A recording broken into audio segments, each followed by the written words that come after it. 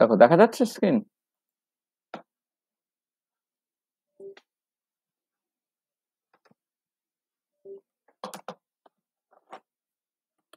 দেখা যাচ্ছে তো? না স্যার দেখা যাচ্ছে না? এদের ও এক second।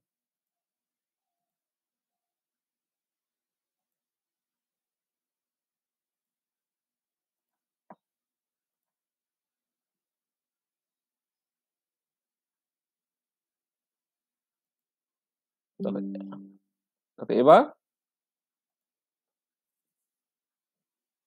হ্যাঁ স্যার আচ্ছা চলো। আচ্ছা। দেখো আমরা হাইড্রোজেন অ্যাটমের একটা লেকচার করেছিলাম তাই তো? সেখানে কারও কিছু অসুবিধা আছে? মানে আমরা basically problems in polar coordinate system করছি। সেখানে হাইড্রোজেন অ্যাটম নিয়ে কথাবার্তা বলতে এই হাইড্রোজেন অ্যাটম পার্টটা আমি অনেকের জন্য একসাথে লিঙ্কটাকে দিচ্ছিলাম? যেমন অ্যাটমিক স্ট্রাকচারে হাইড্রোজেন অ্যাটম পার্ট আছে। যারা ইনঅর্গানিক অ্যাটমিক স্ট্রাকচার পড়ছো এছাড়া সেমিস্টার ফাইভে তো হাইড্রোজেন অ্যাটম প্রবলেম আছে। যে কোনো এমএসসি লেভেলে হাইড্রোজেন অ্যাটম প্রবলেম থাকবে। হ্যাঁ? অনেকের এই জিনিসটা আছে আর কি।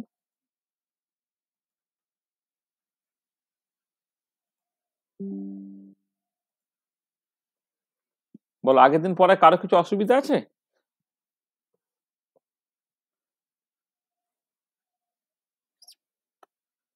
আগের পড়া দেখেছ? কার কিছু অসুবিধা আছে?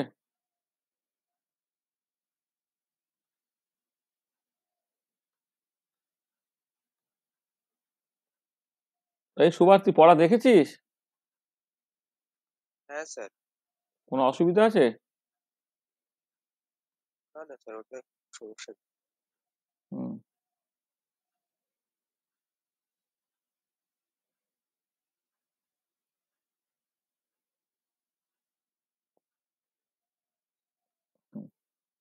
আচ্ছা আগের দিন আমরা অনেক কিছু স্কিপ করে করে বেসিক্যালি পড়েছি।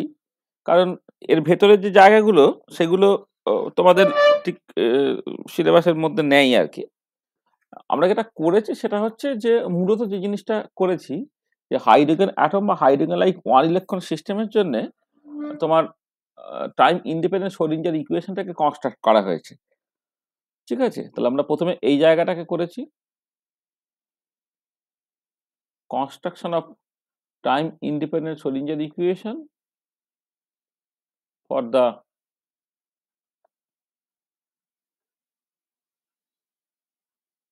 electronic motion of hydrogen atom or hydrogen like one electron ions এটাকে করেছি এবং আমরা দেখেছিলাম যে প্রথমে কার্টিগান কোঅর্ডিনেট সিস্টেমে করা হয়েছিল, যেখানে নিউক্লিয়াসের তিনটে কোঅর্ডিনেট এবং ইলেকট্রনের তিনটে কোঅর্ডিনেট একটা সিক্স কোঅর্ডিনেট প্রবলেম ছিল। তারপর সেটাকে আমরা সেন্টার অফ মাস কোঅর্ডিনেট এবং রিলেটিভ কোঅর্ডিনেট তাতে ট্রান্সফর্ম করলাম। তাতে সেন্টার অফ মাস কোঅর্ডিনেটের যে করসপন্ডিং পার্টটা সেই পার্টটা আমাদের ইম্পর্টেন্ট নয়। আমাদের একটা রিলেটিভ কোঅর্ডিনেটটাকে ইনভলভ করে যে সোডিঞ্জার ইকুয়েশনের যে পার্টটা পাওয়া গেল, সেটা অ্যাকচুয়ালি ইম্পর্টেন্ট এবার তারপরে বলেছিলাম যে ওটা কার্টিকান কোঅর্ডিনেট সিস্টেমে সলভ করা খুব অসুবিধা আছে, সেই জন্য আমরা পোলার কোঅর্ডিনেট সিস্টেমে চলে এসেছিলাম। এই পোলার কোঅর্ডিনেট সিস্টেমে তোমার হাইড্রোজেন অ্যাটমের জন্য তোমার ওই হাইড্রোজেন অ্যাটম বা হাইড্রোজেন লাইক ওয়ান ইলেকট্রন আয়নের জন্য টাইম ইন্ডিপেন্ডেন্ট সোডিঞ্জার ইকুয়েশনটাকে বলা হয়েছিল। তারপরে পার্টে যেটা আমরা করেছিলাম সেটা হচ্ছে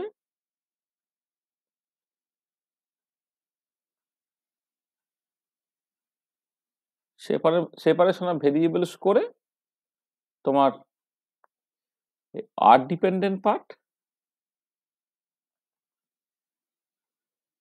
theta dependent part আর ফাই ডিপেন্ডেন্ট পার্ট এগুলো আলাদা করা হয়েছিল, ঠিক আছে? এইটুকু কাজ আমরা করেছি, ঠিক আছে? আচ্ছা এবার আমাদের যেটা আজকে করতে হবে সেটা হচ্ছে যে যে দেখো, এই যে আর ডিপেন্ডেন্ট বা থিটা ডিপেন্ডেন্ট পার্টগুলো এর সলিউশনটা অ্যাকচুয়ালি কমপ্লিকেটেড হুম? আর ডিপেন্ডেন্ট বা থিটা ডিপেন্ডেন্ট পার্টের সলিউশন আমরা করব না, আমরা শুধুমাত্র ফাই ডিপেন্ডেন্ট পার্টের সলিউশনই করব। যারা আগে থেকে ক্লাসগুলো করছ, তারা দেখবে যে ফাই ডিপেন্ডেন্ট পার্টের সলিউশন আমরা রিজিড ডোটার প্রবলেম অর্থাৎ আগে পার্টিকে রোটেটিং রিং প্রবলেম করার সময় অলরেডি ফাই ডিপেন্ডেন্ট পার্টে সলিউশন করেছি, সেটা আমি কমপ্লিটনেসের জন্য আরেকবার এটাকে করব। আর ডিপেন্ডেন্ট পার্ট এবং থিটা ডিপেন্ডেন্ট পার্টে সলিউশন করব না, কিন্তু মানে আর বা থিটা ডিপেন্ডেন্ট পার্টগুলো স্পেশালি কার কার উপরে নির্ভর করে মানে পার্টিকুলার কোন কোয়ান্টাম নাম্বারের উপর নির্ভর করে সেগুলো একটুখানি জাস্ট বলব। বলে ওভারঅল ওয়েব ফাংশনটাকে বলব। এবার ওভারঅল ওয়েব ফাংশন থেকে যা কিছু ইন্টারপ্রিটেশন বা যা কিছু আলোচনা করা যেতে পারে সেই কাজগুলো আমাদের বেসিক্যালি করতে হবে। তার মানে আমরা আজকে যেটা করতে চাইছি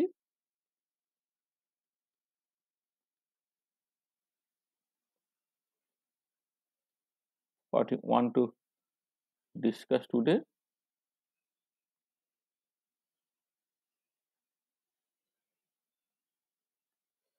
সেটা হচ্ছে মূলত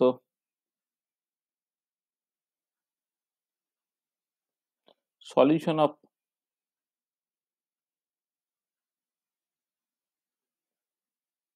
phi dependent part এইটা। এবারে সেখান থেকে expressions of overall wave function এর ইম্পর্টেন্ট ফিচার্স যেগুলো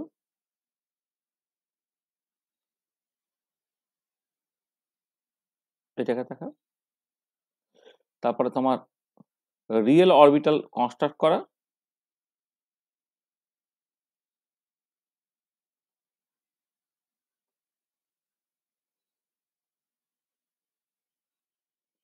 কনস্ট্রাকশন রিয়েল অরবিটালস এটাকে বলা। এবং তারপরে মানে এখান থেকে যা কিছু করা যায় আর কি মানে মানে তারপর হচ্ছে কি বলব discussions on on energy and orbital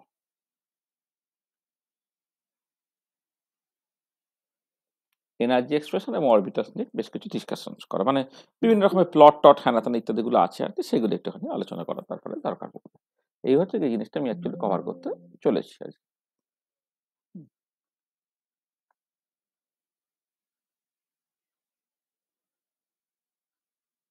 চলো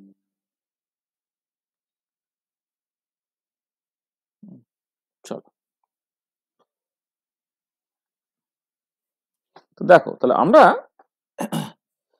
সেটা হচ্ছে প্রথমে যে কাজটা করব বললাম সেটা হচ্ছে তোমার ফাই ডিপেন্ডেন্ট পার্ট যেটা, সেই ফাই ডিপেন্ডেন্ট পার্টের সলিউশনটাকে করতে চাইছি। তাহলে প্রথমে phi dependent part of the সরিঞ্জের ইকুয়েশনটা কি সেটা দেখি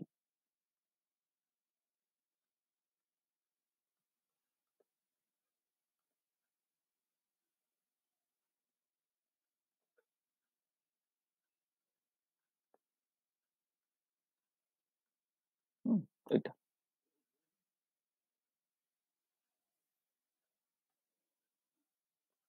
আচ্ছা প্রথমেই phi dependent part of Schrodinger ইকুয়েশনটাকে লিখে ফেলি। Part of time independent Schrodinger equation সেটা কি? দেখো, এটা দেখেছিলে তোমরা মানে একবারে একবারে লিখে দিচ্ছি।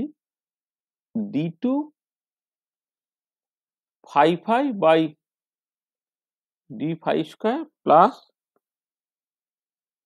m square phi phi equal to zero এইটা হচ্ছে তোমার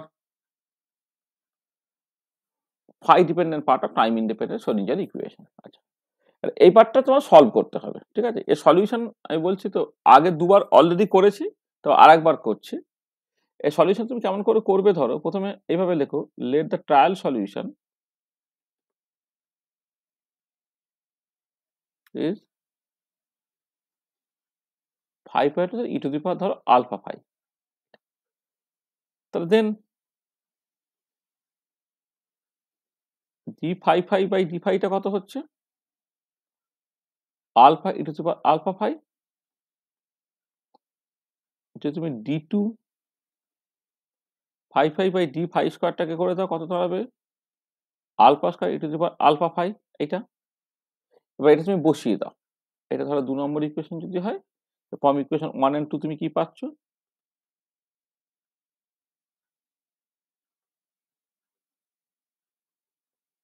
Equation one and two alpha square plus m square into u to power alpha phi দেখে অ্যাকচুয়ালি ইকাল টু জিরো মানে তুমি এই d two phi phi by d phi square জায়গায় alpha square u to power alpha ফাইভটা বসিয়ে দাও, তাহলে alpha square plus m square into u to power alpha phi equal to zero তাহলে এইখান থেকে তুমি লিখতে পারো either e to the power alpha phi equal to zero or alpha square plus m square equal to zero আচ্ছা এইটা যদি zero হয়ে যায়, তার মানে দেখো, এটাই তো অ্যাকচুয়ালি সলিউশনটা তাহলে এইটা হয়ে গেলে তোমার এই ফাই ফাইটা বেসিক্যালি জিরো হয়ে যাবে।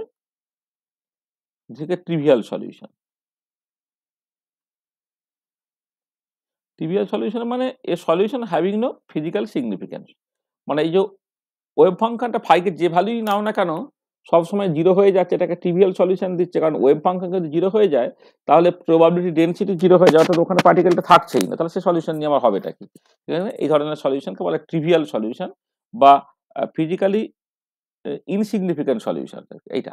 তাহলে actually alpha square plus m square equal to জিরোটা নিতে হবে, তাহলে আলফাটা এখান থেকে বেরোচ্ছে কত? প্লাস মাইনাস আইএম এইটা।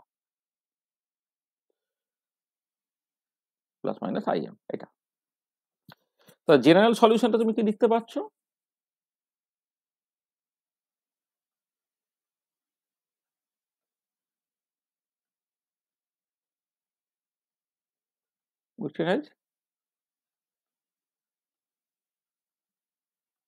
ফাইভ ফাইভ হচ্ছে A e power i m phi plus B e to the power minus i m phi মানে সলিউশনগুলো একটা ই দি পাওয়ার যেহেতু আলফাটা প্লাস মাইনাস আই এম হয়েছে আর সলিউশনটা তুমি ট্রায়াল সলিউশনটা হয়েছিল ই দি পাওয়ার ট্রায়াল সলিউশন হচ্ছে e the power alpha five তুমি ধরেছিলে। আচ্ছা, এইটা দু নম্বর বলি এটাকে তিন নম্বর বলি। এটা চার নম্বর হ্যাঁ। তাহলে এবারে এই যে দু নম্বর ইকুয়েশনে সলিউশনটাকে ধরেছিল e power alpha phi alpha value যদি প্লাস মাইনাস আই এম বেরোয় তাহলে অ্যাকচুয়ালি জেনারেল সলিউশনটা হচ্ছে e the power i m phi i to the power minus i m phi তার লিনিয়ার কম্বিনেশন অর্থাৎ A to the power i m phi plus B to the power minus i m phi এটা আচ্ছা এবারে এখানে আমি বলেছিলাম যে যদি তুমি মানে এম এর যে কোনো ভ্যালু অ্যালাউ করো মানে এম এর পজিটিভ নেগেটিভ সব ভ্যালু তুমি অ্যালাউ করো, তাহলে দুটো সলিউশনের মধ্যে যে কোনো একটা নিয়ে কাজ করলেই তোমার হবে, সেটা আমি দেখিয়েছিলাম। মানে ধরো আমি যদি এই এই পজিটিভ সলিউশনগুলো এইরকম ভাবে বলি ফাইভ প্লাস ফাইভ আর ফাইভ মাইনাস ফাইভ এই সলিউশনগুলোকে নিই এম এর বিভিন্ন ভ্যালুর জন্য এম এর ভ্যালু ধরো জিরো নিলাম। তাই এটা হচ্ছে পজিটিভ সলিউশন মানে এটা হচ্ছে আই এম ফাইভটা আর কি বলছি। সেটা ওয়ান দিচ্ছে, এটা তোমার ওয়ান দিচ্ছে। তাহলে এম এর ভ্যালু ধরো, আমি প্লাস ওয়ান নিলাম। তাহলে এইখান থেকে তুমি পাচ্ছ e to the power i phi আর এখান থেকে পাচ্ছ e to power minus i phi আবার এম এর ভ্যালু তুমি মাইনাস ওয়ান নিয়ে নাও, দেখো, এই বাঁ দিকটা তোমাকে দেবে e to the power minus i phi আর এটা দেবে তোমার e to power i phi মানে এই প্লাসটা বলছি e to power i m ফাইটা আর এইটা বলছি basically e to power minus i m ফাইটা এবারে দেখো তুমি এম এর যে বিভিন্ন ভ্যালু নিচ্ছ, যদি এম এর পজিটিভ নেগেটিভ সব ভ্যালু তুমি অ্যালাউ করো, খেয়াল করে দেখো ই টু পাওয়ার আই ফাইটা এই প্রথম থেকেও আসছে আর সেকেন্ডটা থেকেও আসছে। বা e to power minus i ফাইটা প্রথমটা থেকেও আসছে সেকেন্ডটা থেকেও আসছে। তাহলে এইরকম সিচুয়েশন আসবে। ঠিক একই রকম ভাবে এম এর ভ্যালু প্লাস টু নিলে এটা e to the power two i phi এটা e to the power minus two i phi হচ্ছে। আবার এম এর ভ্যালু তুমি যদি minus two now e to the power minus two i phi হলো, এটা e to the power two i phi হলো। তোমরা পরিষ্কার দেখতে পাচ্ছ যে একই সলিউশন দুবার করে আসছে। আচ্ছা এবারে কথাটা হচ্ছে যেহেতু as only the linearly independent functions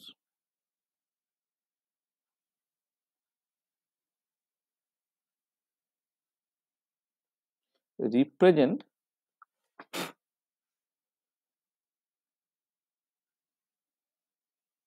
different states states without loss of generality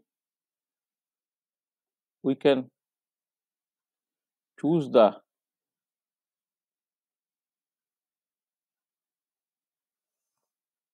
general solution as phi m phi equal to a e to the power im phi with with এটা আমি এই পর্যন্ত উইথ আর লিখতে হবে না আচ্ছা with with আচ্ছা ঠিক with positive negative and zero values of m এটা ব্যাপারটা কীরকম দেখো মানে তোমার শুধুমাত্র লিনিয়ার ইন্ডিপেন্ডেন্ট ফাংশন নিতে হবে তো, তোমার কতগুলো চয়েস আছে দেখো।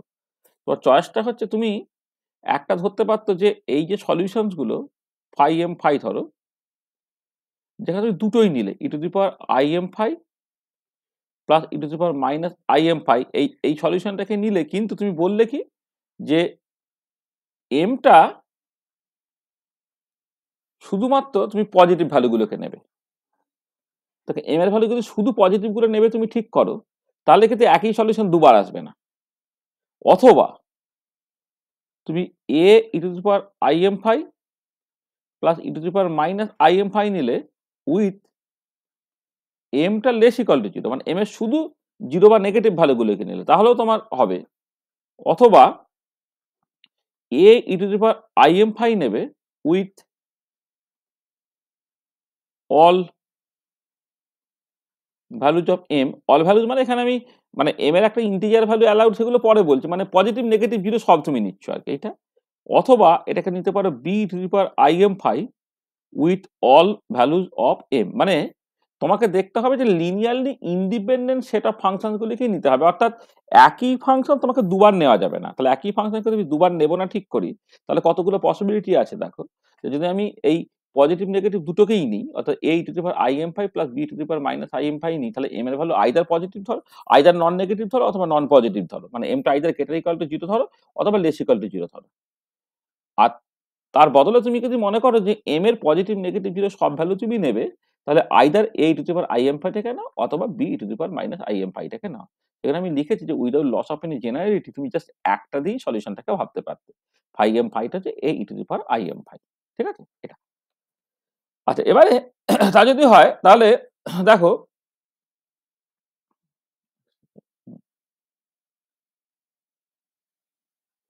প্রথম দিকে সরি এক সেকেন্ড প্রথম দিকে দুটোই রয়ে গেছে কি করে?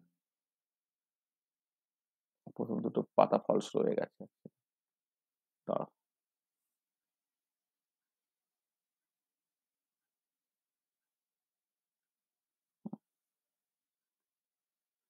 কি হলো? এক সেকেন্ড কি সব মুছে ফেলছি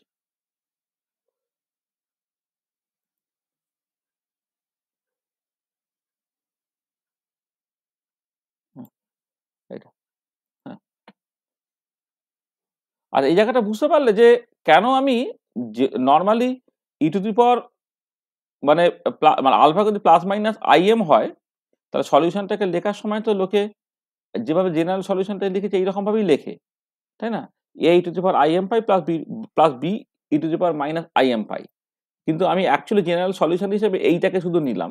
ফাই এম ফাইটা যে A e to power i m phi কেন নিলাম? হ্যাঁ। তার কারণটা পরিষ্কার কি? এখানে আমি বোঝানোর চেষ্টা করেছি। সেটা কি কোনো অসুবিধা আছে? ঠিক আছে? বুঝতে পারছ? তাহলে কেউ তো কিছু বলো। হ্যাঁ স্যার। এইটা তাহলে হ্যাঁ স্যার ঠিক আছে। ঠিক আছে? এটা তাহলে এবারে দেখো তাহলে অ্যাকচুয়ালি তোমার সলিউশনটা হলো a e to power i m phi আচ্ছা এবারে এখানে তোমার এই এম এর ভ্যালু কি হতে পারে সেটা তোমায় দেখতে হবে। তাহলে ধরো এম এর ভ্যালু বের করার জন্য আমি যদি এরকম ভাবে what are the allowed values of m যদি আমি দেখতে চাই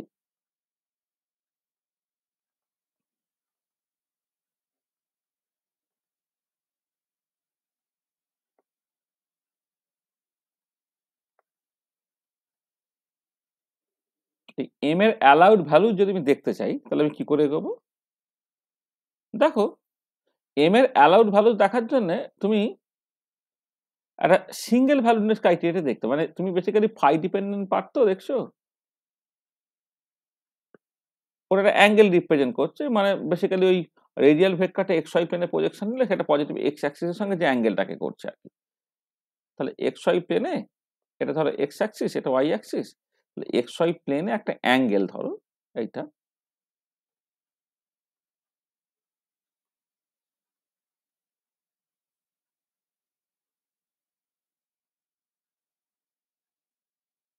ধরো একটা অ্যাঙ্গেল এই অ্যাঙ্গেলটা বেসিক্যালি তোমার ফাই ঠিক আছে? এই অ্যাঙ্গেলটা তোমার বেসিক্যালি ফাই আচ্ছা এবারে এই ধরনের ফাংশন দেখো, এমনিতে e to the power i m phi মানে বুঝতে পারছ এটা পিরিয়ডিক ফাংশন তো। পিরিয়ডিক ফাংশন ওটা সাইন কসের কম্বিনেশন ফর্মে তুমি লিখতে পারবে। তাই পিরিয়ডিক ফাংশনের অ্যাকসেপ্টেবিলিটির জন্য এটা মোস্ট ইম্পর্টেন্ট ক্রাইটেরিয়া সেটা সিঙ্গেল ভ্যালুডনেস ক্রাইটেরিয়া হ্যাঁ তাহলে এই ফাংশনগুলো কোয়ান্টাম মেকানিক্যালি অ্যাকসেপ্টেবল হবে। অ্যাকসেপ্টেবল হওয়ার জন্য চারটে কন্ডিশন লাগে, তুমি জানো। Finite single value continuous with continuous first derivative হবে। তাহলে এক্ষেত্রে সিঙ্গেল ভ্যালুডনেসটা তোমার চেক করতে হবে কি দিয়ে? সিঙ্গেল ভ্যালু নিয়ে নিয়ে। তাহলে যেটা কথা হচ্ছে যে phi m phi will be quantum mechanically acceptable?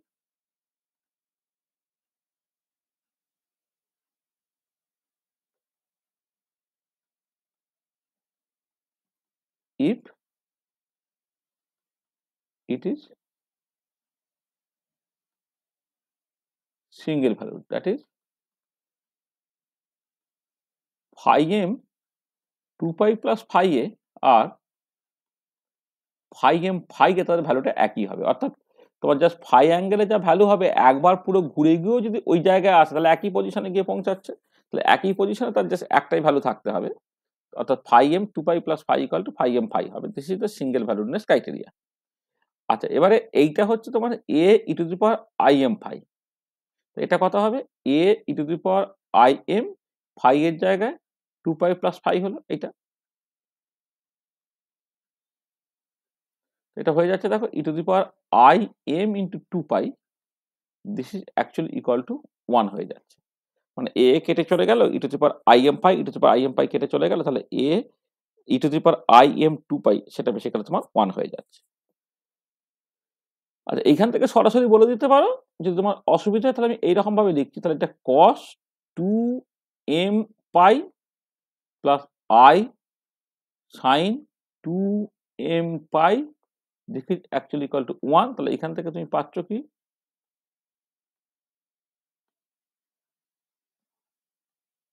দেখো, এটা একটা কমপ্লেক্স নাম্বার তো।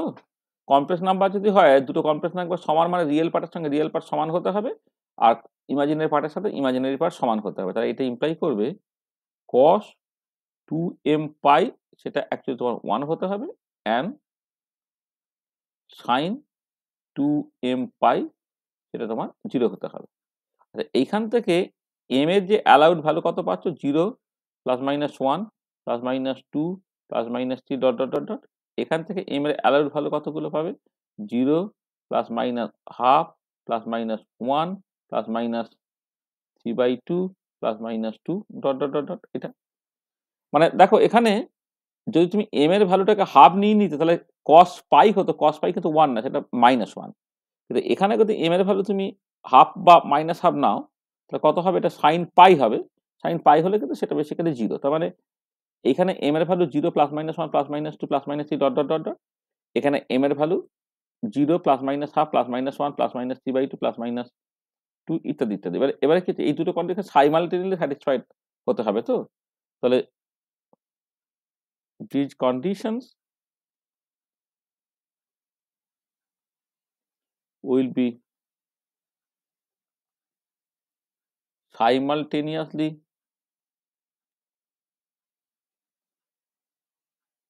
satisfied if m equal to just 0 plus minus 1 plus minus 2 plus minus 3 এগুলো নিতে হবে অর্থাৎ তোমার দুটোতেই কমন যেগুলো সেগুলো তোমাকে নিতে হবে আর দেখো এই এম এর অ্যালাউড ভ্যালুস তোমার পেয়ে গেল। এম এর value zero plus minus one plus minus two plus minus three ইত্যাদি।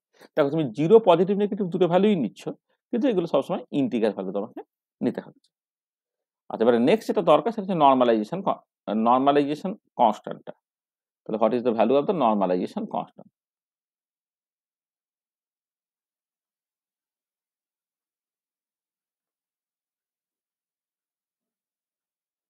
the value normalization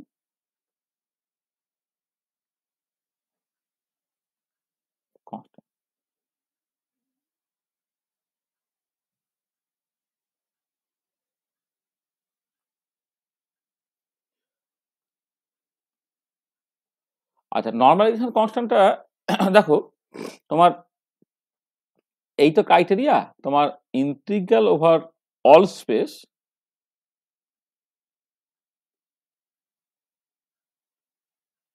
phi m phi star, phi m phi d phi, this has to be equal to 1 এটা normalisation কন্ডিশনটা এটা যদি একটা arbitrary function phi m phi তুমি ধরো, তাকে তা কমপ্লেক্স কনজুগেট দিয়ে গুণ করে ইন্টিগ্রাল আবার অল স্পেস করে যদি ওয়ান হয় তাহলে সেটা নর্মালাইজড হচ্ছে। তাহলে এখানে দেখো অল স্পেস মানে এখানে এর ভ্যালুটা কত কোথা থেকে কোথা পর্যন্ত যেতে পারে।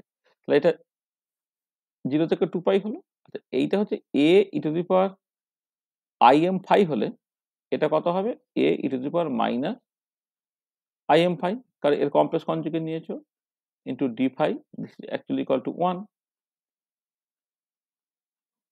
এখান থেকে এ স্কোয়ার ইন্টিগ্রাল জিরো থেকে two pi into d phi this actually equal to one হলো, কারণ e to power minus i m phi e to the power plus i m phi কেটে চলে গেল। এটা হচ্ছে A square into two pi সেটা তোমার ওয়ান হয়ে যাচ্ছে। সেখান থেকে এটা হয়ে যাচ্ছে plus minus one over root over of two pi এইটা। এটা পেলে তুমি নর্মালাইজেশন কনস্ট্যান্ট আচ্ছা এবারে তুমি যখন এটাকে অ্যাকচুয়ালি বসিয়ে দেবে, তার মানে তাহলে জেনারেল সলিউশনটা তাহলে কি হলো? জেনারেল সলিউশনটা তুমি ফাই এম ফাইটাকে তুমি লিখতে পারো one by root over of two pi e to the power i m phi এরকম হচ্ছে সলিউশনটা হলো। আর এবার আমি প্লাসটাকে নিলাম মাইনাসটাকে কেউ নিতে পারতো। এবারে কথাটা হচ্ছে যে প্লাস এবং মাইনাস তার ক্ষেত্রে লিনিয়ারলি ডিপেন্ডেন্ট তুমি আলটিমেটলি যখন তার ইম্পর্টেন্সটা দেখতে চাইবে অর্থাৎ প্রবাবিলিটি ডেন্সিটি ক্যালকুলেট করতে হবে, তখন প্লাস মাইনাস তারা একই হয়ে যাবে। বা ইন আদার ওয়ে তুমি বলবে যে যদি এখানে তুমি মাইনাসটাকে নিতে যে এর যে ভ্যালুটা plus one by root over two pi বা minus one by root over two pi বেরিয়ে গেলে, তো তুমি প্লাসের বদলে কিন্তু মাইনাস নিতে। তাহলে কি হতো না প্লাস এবং মাইনাস এরা কিন্তু একে অপরের সঙ্গে লিনিয়ারলি ডিপেন্ডেন্ট হয়ে গেত কারণটা কি? পরিষ্কার তো বুঝতে পারছ যে, এর সঙ্গে মাইনাস ওয়ান দিয়ে গুণ করলেই তো পরেরটা পেয়ে যাবে। আর কোনো একটা ফাংশনের সঙ্গে একটা কনস্ট্যান্ট গুণ করে কিন্তু অন্য ফাংশন পেয়ে যাবে তাহলে লিনিয়ারলি ডিপেন্ডেন্ট ফাংশন দিয়ে দেয়। সেখানে জেনারেল সলিউশনে তুমি এটা লিখতে পারতো। এটা প্লাসটাই তুমি লিখবে আর কি মাইনাসটা লেখার দরকার নেই আর কি। ঠিক আছে? যে কোনো একটা লিখলেই তোমার চলবে। এবারে অবভিয়াসলি একটা যদি লিখতে হয়, তাহলে শুধুমাত্র প্লাসটাকেই তুমি নেবে। এখানে একটুখানি বলে নেওয়া ভালো যে মানে তোমার মানে কি বলব? এখানে হচ্ছে যে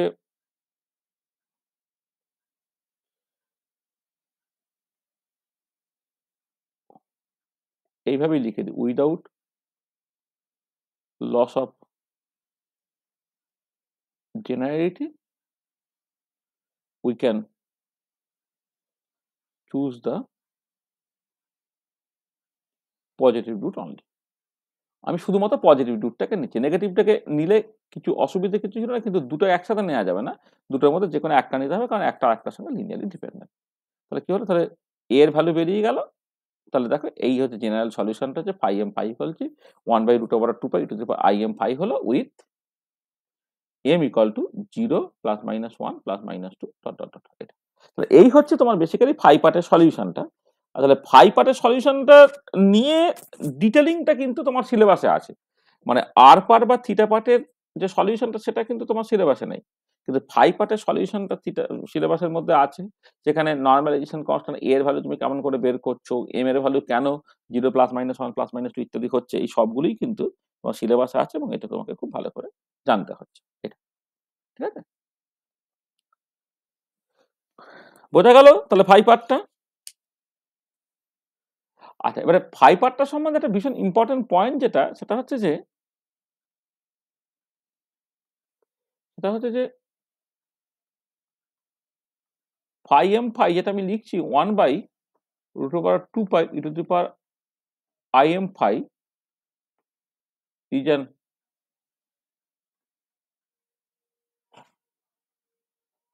eigenfunctions of LZ operator with the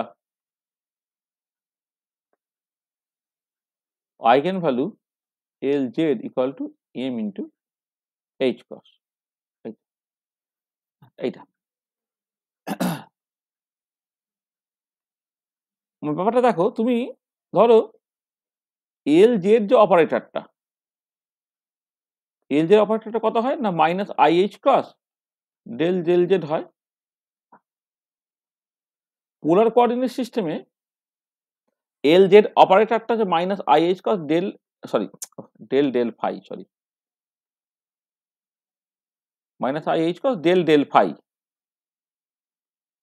এটা মনে রাখার অনেক সুবিধা আছে। তুমি যেমন করে কার্টিগান কোঅর্ডিনেট সিস্টেমে পি জেড বললে minus i h cross del del z লেখো, ঠিক একই রকম ভাবে এল জেড হচ্ছে minus i h cross del del phi.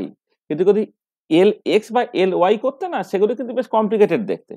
কিন্তু এল জেড পার্টটা বেশ সিম্পল এক্সপ্রেশন আছে, সেটা হচ্ছে minus i h cross del del phi আচ্ছা এবারে এল জেড অপারেটরটা যদি তোমার ফাই এম ফাইয়ের উপরে কাজ করে, তার মানে কি হচ্ছে minus i h cross del del z del del phi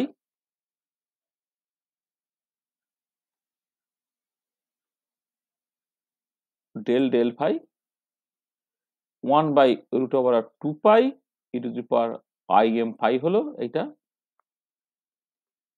minus I H cross যেমন আছে আছে। এটা যখন কাজ করছে one by root over two pi থেকে যাবে। E to i m phi তোমার থেকে যাবে। আর এই ডেরিভেটিভ যখন হবে, একটা এক্সট্রা আই এম তোমার আসবে। তাহলে কত হচ্ছে? আই আই গুণ করলে আই স্কোয়ার আই স্কোয়ার মানে হচ্ছে মাইনাস ওয়ান মাইনাস মাইনাসে প্লাস হয়ে গেল, অর্থাৎ এম ইন্টু এইচ ক্রস হয়ে গেল। আর এখানে দেখো তোমার আগের ফাংশনটা বেসিক্যালি ফিরে চলে এলো। মানে পরিষ্কার বুঝতে পারছ clearly pi m pi reason eigen function of L Z with the eigen value m into h আর এই যে এম ইন্টু এইচ কস এটাই হচ্ছে z comparative angular momentum this is the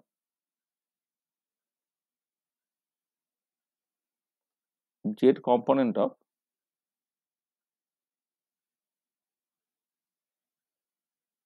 angular momentum. This is the z component of angular momentum.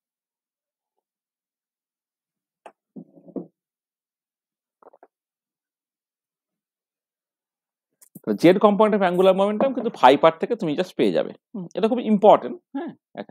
এবারে এইখানে এই যে এমটা তুমি পেলে না, যে z compound of angular momentum কিন্তু এম ইন্টু এইচ কস হয়, তাহলে এমটা কি? এই এমটাই হচ্ছে সকল আমাদের ম্যাগনেটিক অরবিটাল কোয়ান্টাম নাম্বার মানে এই যে এমটা এমটা হচ্ছে ম্যাগনেটিক কোয়ান্টাম নাম্বার বা আমি এটাকে বলি ম্যাগনেটিক অরবিটাল কোয়ান্টাম নাম্বার তাহলে এরপর একটা ম্যাগনেটিক স্পিন কোয়ান্টাম নাম্বার আসবে আর কি। ম্যাগনেটিক অরবিটাল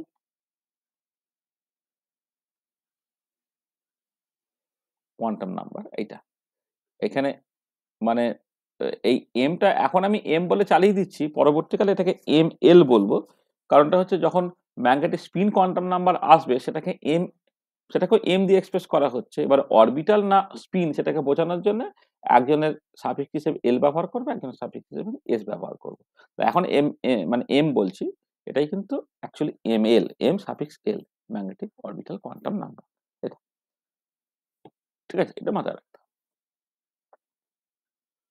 আচ্ছা এবং এই আমি পরে যে কোয়ান্টাম নাম্বারগুলো তার ফিজিক্যাল সিগনিফিকেন্সগুলো সামারাইজ করব, এখন যদি ম্যাগনেটিক অরবিটাল কোয়ান্টাম নাম্বারের ফিজিক্যাল সিগনিফিকেন্স দেখো, এটা হচ্ছে quantization of z compound of angular momentum দিচ্ছে। কিন্তু পরবর্তীকালে যখন শেপ অফ দ্য অরবিটাল নিয়ে কথাবার্তা বলব, তখন দেখবে যে টুগেদার উইথ দিস মানে পার্টিকুলার ফিজিক্যাল সিগনিফিকেন্স এবার আরেকটা ফিজিক্যাল সিগনিফিকেন্স হচ্ছে, এটা কিন্তু কোন একটা অরবিটালের শেপ ডিটারমাইন করবে। মানে থিটা পার্টের সঙ্গে কাপেল করে এই ফাইভ পার্টটা বা এম পার্টটা সে বেসিক্যালি শেপ অফ দ্য অরবিটালকে ঠিক করবে আর কি সেটা বা মানে মানে তোমার অ্যাঙ্গুলার ওরিয়েন্টেশন আর কি সেটাকে তোমার ঠিক করবে সেখানে তখন আমি ওই যেটা বললাম যে physical significance of the quantum number সেটা আমি আলাদা একটা হেডিং করে শেষে ভালো করে আলোচনা করব আর। ঠিক আছে। হলো ওই পার্টটা পরিষ্কার তো কোনো অসুবিধা নেই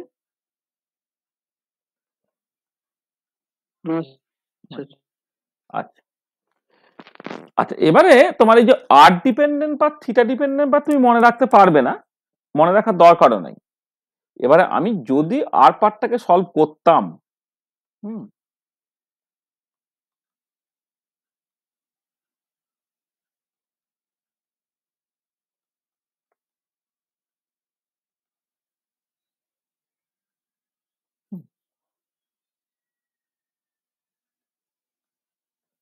R dependent part of function হ্যাঁ? মানে এটা তোমার যেটা হচ্ছে তুমি মনে রাখতে পারবে না, শুধু কম্পিটেন্সের জন্য আমি লিখে দিচ্ছি। মনে রাখার চেষ্টাও করতে যেও না। কিন্তু যেগুলো মনে রাখবে তোমায় আমি বলব যে, এই যে এটাকে অনেক সময় radial part of the wave function R dependent part বা রেডিয়াল পার্টও বলা হয়। হ্যাঁ? R dependent part of wave function বা radial part of wave function আর এইটাকে দুটো কোয়ান্টাম নাম্বার এন এবং এল এর উপর নির্ভর করে, এটা হচ্ছে প্রথম ইম্পর্টেন্ট পয়েন্ট যে প্রিন্সিপাল কোয়ান্টাম নাম্বার এন এবং অ্যাজিমুথাল কোয়ান্টাম নাম্বার এল এদের উপরে কিন্তু এটা অ্যাকচুয়ালি তোমার নির্ভর করছে, এটা, হুম, এটা। তার একটা এক্সপ্রেশন আছে, সেই এক্সপ্রেশনটা আননেসেসারিলি মনে রাখার চেষ্টা করো না, করে কি লাভ? তো মনে তো এমনি থাকবে না তেমনিও থাকবে না, এটা। আচ্ছা এটা এটা মনে রাখার দরকার নেই, কেন ক্লামজি করে তোমার ব্যাপারটাকে এ করে, ও মনে থাকবে না তোমার। এটা হচ্ছে এটা হচ্ছে radial part of the wave function এটা যেটা দুটো কোয়ান্টাম নাম্বার এন এবং এল এর উপর কিন্তু ডিপেন্ড করছে। আচ্ছা এবারে এই আর কিন্তু নিজের মতো করে নর্মালাইজ অর্থাৎ তুমি যদি আর আমি ধরো N L star R N prime L prime R এর উপর ডিপেন্ড করে আর এর উপর ডিপেন্ড করে করে তুমি ইন্টিগ্রাল আবার অল স্পেস করে ইন্টিগ্রাল আবার অল স্পেস মানে জিরো থেকে ইনফিনিটি এইটা। তার সঙ্গে না, এখানে যখন তুমি ওভারঅল এটাকে লিখবে মানে যেটাকে বলে তোমার ইন্টিগ্রেট করবে, এখানে শুধু, এখানে কিন্তু আর স্কোয়ার ডিআর লিখতে হবে হ্যাঁ এইটা। মানে স্ফেরিক্যাল পোলার কোঅর্ডিনেট সিস্টেমে ভলিউম এলিমেন্টটাকে আর স্কোয়ার দিয়ে সাইন থিটার ভিতরে ডিফাই তাহলে শুধুমাত্র রেডিয়াল পার্টটাকে যখন তুমি করবে ইন্টিগ্রাল জিরো থেকে ইনফিনিটি আর স্টার আর কিন্তু আর স্কোয়ার ডিআর এইটা হচ্ছে তোমার দুটো কনেকাল ডেল্টা আসবে N N prime delta L L prime অর্থাৎ এর মানে হচ্ছে যে যে তুমি কি নর্মালাইজেশন চেক করো, তখন কি হচ্ছে? এইখানে যে ফাংশনটা আছে, এখানে সেই ফাংশনটাই থাকবে। অর্থাৎ এন এন প্রাইম আর এল এল প্রাইম তারা বেসিক্যালি সমান, তখন এটা ওয়ান এটা ওয়ান তখন ওভারঅল ভ্যালুটা ওয়ান দেবে। যে কোনো একটা কোয়ান্টাম নাম্বার যদি পাল্টে যায় আইদার এন অথবা এল তাহলে সেটা অর্থোগোনাল হবে। এইটা হচ্ছে বেসিক্যালি অর্থ নর্মালিটি ক্রাইটেরিয়া কি। তোমার এখানে পরিষ্কার বোঝা যাচ্ছে এইটা তোমার ইকুয়াল টু ওয়ান হবে যখন when N equal to N prime and L equal to L prime simultaneously আর এইটা ইকুয়াল টু জিরো হবে when N not equal to N prime and or L not equal to L prime যে কোনো একটা quantum number change হলে সেটা হবে। এটা হচ্ছে অর্থ নর্মালিটি ক্রাইটেরিয়া ঠিক আছে? এটা আচ্ছা এবং আমি এই শুধুমাত্র আর ডিপেন্ডেন্ট পার্টটাকে নিয়ে ডিটেল আলোচনা এখন করছি না। কারণ ওভারঅল ওয়েব ফাংশনটা লিখে ফেলবে যখন R part theta part phi part গুণ করে, তখন আলোচনাটা আমরা করব। তখন দেখবে তোমার কাছে ব্যাপারটা অনেক সুবিধা হবে এবং দু একবার একটা আধটা প্রবলেম পড়েছে, হয়তো ওয়ানে সরবিটালের ক্ষেত্রে তোমার ওই ওভারঅল ওয়েব ফাংশনটাকে না দিয়ে radial part of the wave ফাংশনটাকে বলে দিয়েছে এবং সেখান থেকে তোমাকে আলোচনা করতে বলেছে। তখন আমি তার এক্সপ্রেশনটা বলে দেওয়া থাকবে আর কি। তোমাকে আলাদা করে কিছু মনে রাখতে হবে না। তবু আমি একটা কাজ বলে নিই যে তোমার এই ওয়ান এস অরবিটালের যে রেডিয়াল পার্টটা সেটা ওয়ান জিরোর উপর নির্ভর করছে। ওয়ান জিরো মানে যে প্রিন্সিপাল কোয়ান্টাম নাম্বার ওয়ান এবং অ্যাজিমুথাল কোয়ান্টাম নাম্বার জিরো মানে এটা তুমি বলতে পারো আর ওয়ান এস অরবিটাল যেটা। এইটা। হ্যাঁ সেইটা জাস্ট এক্সপ্রেশনটা বলে যে two Z by A zero O to the power three by two E to the power minus Z R by A zero এটা এটা হাইড্রোজেন হাইড্রোজেনের ওয়ান এস অরবিটালের জন্য radial part of the wave function এটা আমি বললাম। এছাড়া two S two P ইত্যাদি ইত্যাদি, সে বিভিন্ন সময় বিভিন্ন হবে, সেগুলো কিছুই মনে থাকবে না যেহেতু ফালতু মানে ব্যাপারটাকে ক্লামজি করে লাভ নেই। তুমি শুধু বুঝবে যে আর পার্ট সেটা দুটো কোয়ান্টাম নাম্বার এন এবং এল এর উপর ডিপেন্ড করে এবং তারা অর্থ নর্মাল সেট তোমার তৈরি করছে। আর ওয়ান এস অরবিটালের জন্য তোমার ওই একটা স্পেশাল কেসে আর কি ওয়ান এস অরবিটালের জন্য radial part of the function expression হিসেবে বসিয়ে রেখেছি। এটা। আচ্ছা এবারে theta dependent part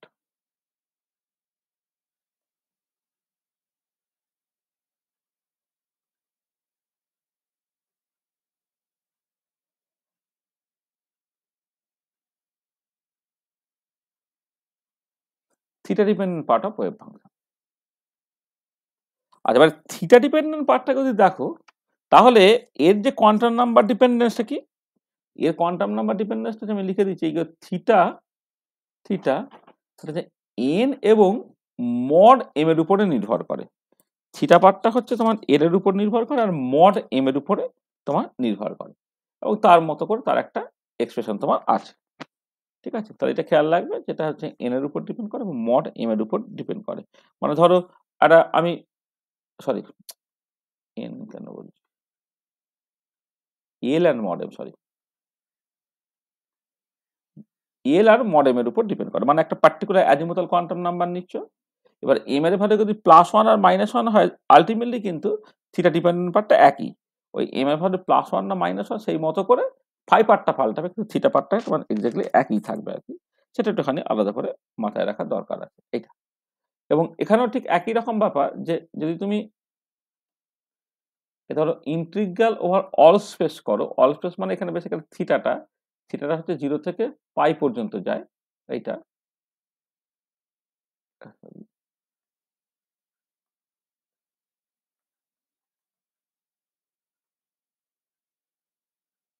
Theta, L L prime mod M prime, theta theta, এখানে ধরো theta star, L, M prime, এইটা, into sine theta D theta এটা এর ভলিউম এলিমেন্টটা হচ্ছে থিটা, ডিপেন্ডেন্ট পার্টে ভলিউম এলিমেন্টটা হচ্ছে তোমার সাইন থিটা, ডি থিটা, এইটা। তো এটা যদি করো, তাহলে সেটা হবে delta L L prime, delta M M prime M prime mod M mod M prime বলা ভালো। মডেম মডেম প্রাইম, এটা। এবং পরিষ্কার এটা তোমার ওয়ান দিয়ে দেবে যখন দুটো ফাংশন একই, অর্থাৎ L equal to L prime and mod of M equal to mod of M prime এটা ইকুয়াল টু তোমার জিরো হয়ে যাবে যখন L not equal to L prime and or mod M not equal to mod M prime এটা তা theta পার্টটাও তোমার নিজের মতো করে অর্থ নর্মাল আর কি মানে এটা হচ্ছে নর্মালাইজেশন কন্ডিশন হচ্ছে অর্থগোনালিটি কন্ডিশন আর কি। আচ্ছা এবার থিটা পার্ট আলাদা করে তোমার মনে দরকার মনে রাখার দরকার নেই, কিন্তু যদি তুমি এই থিটা এবং ফাইভ পার্ট গুণ করে দাও, তাহলে যেটা পাওয়া যায় সেটাকে বলে স্ফেরিক্যাল হারমোনিক্স দেখো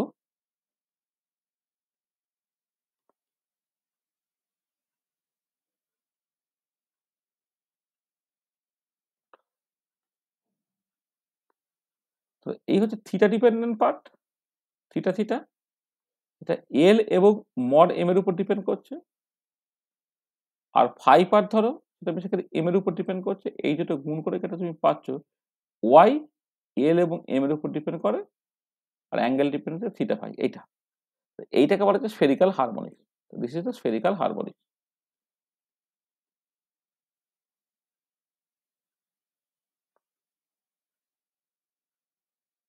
spherical harmonic আচ্ছা এবারে এইটা যেটা important point this is simultaneous eigenfunctions of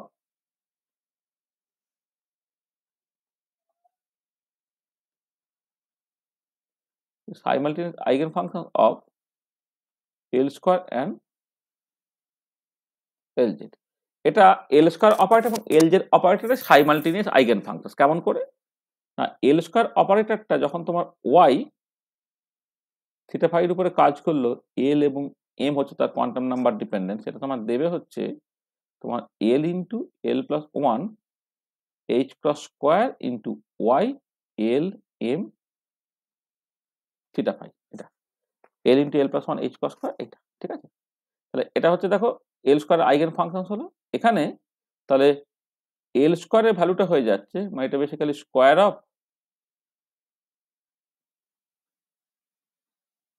total angular momentum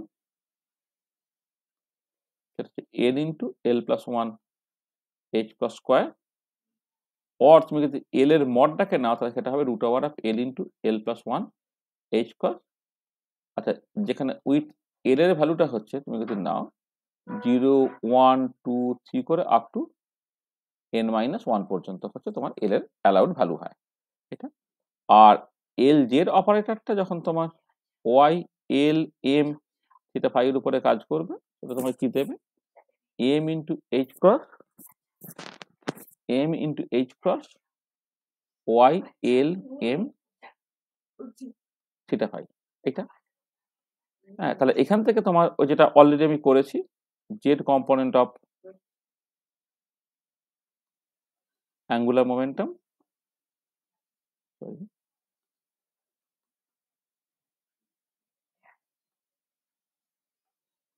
Z component of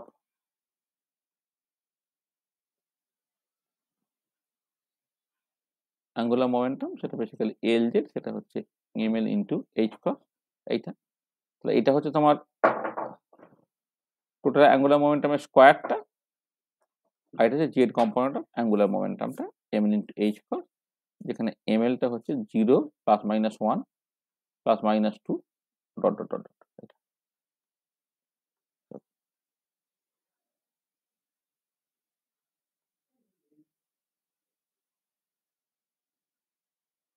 zero plus minus one plus minus two dot dot dot dot এটা ঠিক আছে? তাহলে এটা স্ফেরিক্যাল হারমোনিক তাহলে স্ফেরিক্যাল হারমোনিক বৈশিষ্ট্য হচ্ছে simultaneous eigen function of L square and L Z তাহলে spherical হারমোনিক্সের উপর এল স্কোয়ার কাজ করলে তুমি স্কোয়ার অফ টোটাল অ্যাঙ্গুলার মোমেন্টামটা পেয়ে যাবে, সেখান থেকে অ্যাঙ্গুলার মোমেন্টামের ম্যাগনিটিউডটা পেয়ে যাচ্ছ টোটাল অ্যাঙ্গুলার মোমেন্টামের ম্যাগনিটিউডটা আর এল জেড অপারেটরটা যদি স্ফেরিক্যাল হারমোনিক্সের উপরে কাজ করে, তাহলে তুমি জেড কম্পারেটিভ অ্যাঙ্গুলার মোমেন্টাম পেয়ে যাচ্ছে, সেটা হচ্ছে এইটা। আচ্ছা এখানে একটা জিনিস দেখো সেটা হচ্ছে যে যে এল এর ভ্যালুটা জিরো ওয়ান টু থেকে শুরু করে up to N minus one পর্যন্ত গেল। আচ্ছা এবারে এম এর ভ্যালুটা zero plus minus one plus minus two থেকে শুরু হচ্ছে, কিন্তু এটা কোথায় গিয়ে শেষ হবে? দিস ইজ ইম্পর্টেন্ট আচ্ছা সেইটাকে তুমি দেখতে চাও, দেখো, তুমি যদি ধরো অ্যালাউড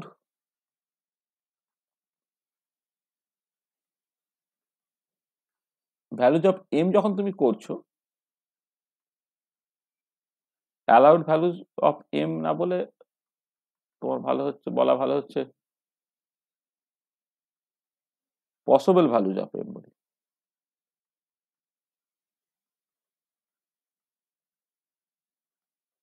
ভ্যালুজ অফ এম দেখো, তুমি এমটা যে zero plus minus one plus minus two plus minus three ইত্যাদি ইত্যাদিগুলি হতে পারবে এম এর ভ্যালু যে যা খুশি মানে কোনো ফ্র্যাকশন ট্যাকশন হতে পারে, সেটা তুমি অলরেডি দেখেছি। আচ্ছা এবারে এইখানে যেটা হচ্ছে যে এম এর উপর কোনো রেস্ট্রিকশন আছে কিনা। হ্যাঁ সাডেনলি আছে। দেখো, যে টোটাল অ্যাঙ্গুলার মোমেন্টাম এল স্কোয়ারটা সেটা কি? L X square plus L Y square plus L Z square তার মানে পরিষ্কার এল স্কোয়ারটা বা এখান থেকে আমি বলতে পারি, ঠিক আছে।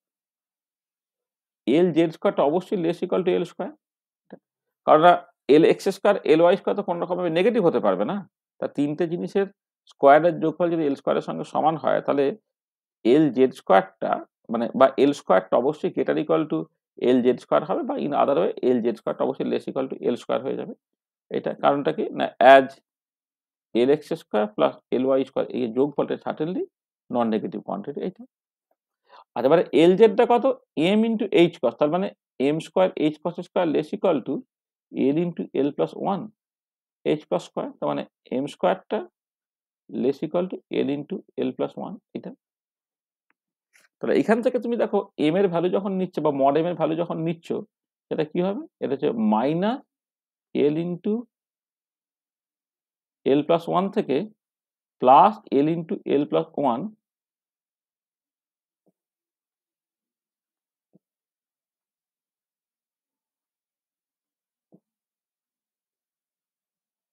এই দুটোর মধ্যে হবে। Minus root over of L into L plus one থেকে plus root over of L into L plus ওয়ানের মধ্যে নিশ্চয়ই এম এর ভ্যালুটা হবে। কারণ এম স্কোয়ারটা যদি তোমার L into L plus one mod এমটা কত হচ্ছে? Root over of L into L plus one তাহলে এর মধ্যে থাকবে। আচ্ছা এবারে দেখো, তুমি পরিষ্কার, ধরো এল এর ভ্যালু যদি আমি জিরো নিই, তাহলে এটা অটোমেটিক ইমপ্লাই করবে এম এর ভ্যালু কিন্তু শুধুমাত্র জিরোই হতে পারবে। আচ্ছা এল এর ভ্যালু কিন্তু ওয়ান নেই, তাহলে একটু খেয়াল করে দেখো এম তো ইন্টিজার এটা খেয়াল রাখবে মানে এখানে এম অবশ্যই একটা ইন্টিজারটা মাথায় রাখবে যে এম ইজ অ্যান ইন্টিজার এটা অলরেডি আমার জানা আছে। এটা আমার অলরেডি জানা আছে। তাহলে এবারে এর ভ্যালু যদি ওয়ান নিই, তাহলে এখানটা কি থাকছে? এম এর ভ্যালুটা থাকে এখানে মাইনাস রুট টু থেকে প্লাস রুট টুর মধ্যে থাকবে। তাহলে মাইনাস রুট টু থেকে প্লাস রুট টুর মধ্যে কি কি থাকতে পারে? জিরো প্লাস মাইনাস ওয়ান এরাই থাকতে পারে। এলের ভ্যালু যদি তুমি টু নাও, তাহলে সেখান থেকে কি দেখবে? এলের ভ্যালু দুই করলে হচ্ছে root six minus root six থেকে প্লাস রুট সিক্স আর রুট সিক্সের ভ্যালু কি দুই আর তিনের মাঝে, তার মানে তুমি তিন পর্যন্ত নিতে পারবে না। তাহলে এম এর ভ্যালুটা জিরো হতে পারে প্লাস মাইনাস ওয়ান হতে পারে প্লাস মাইনাস টু হতে পারে। তাহলে এইরকম করে তুমি জাস্ট এগোবে। এবার তুমি এগোবে মানে এল এর ভ্যালু তুমি তিন বলো তো সেখান থেকে এম এর allowed value zero plus minus one plus minus two plus minus three ইত্যাদি ইত্যাদি করে তোমাকে এটা দাঁড়াচ্ছে যে allowed values of M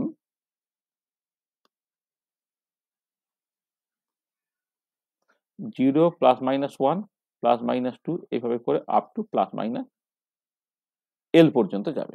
মানে plus L to minus L with unit interval মানে zero plus minus one plus minus two করে up to plus minus L পর্যন্ত যাবে। সেটা হচ্ছে এম এর পসিবল ভ্যালুগুলো তাহলে এম এর ভ্যালুটা অ্যাজিমুতাল কোয়ান্টাম নাম্বার এল এর উপর ডিপেন্ড করছে।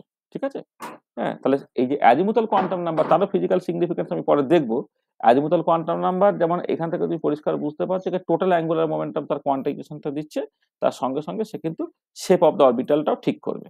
হ্যাঁ এই এলটা হচ্ছে অ্যাজিমুতাল কোয়ান্টাম নাম্বার হ্যাঁ এটা টোটাল মাথায় রাখার ব্যাপার আছে।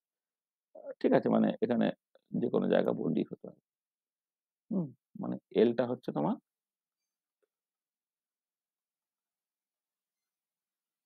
অ্যাজিমুথাল কোয়ান্টাম নাম্বার এটা। তাহলে বুঝতে পারলে যে এম এম এর ভ্যালুটা zero plus minus one plus minus two হবে হবে। কিন্তু তার রেস্ট্রিকশনটা আপার লিমিটটা কিছু বলা হয়নি। আপার লিমিটটা কিন্তু প্লাস মাইনাস এল পর্যন্ত। ঠিক আছে? এটা মাথায় রাখতে হবে। বোঝা গেল? হ্যাঁ? এটা। আচ্ছা। এবারে দেখো তোমার আমি আর পার্টটা থিটা পার্টটা ফাই পার্টটা বললাম। এবারে তোমার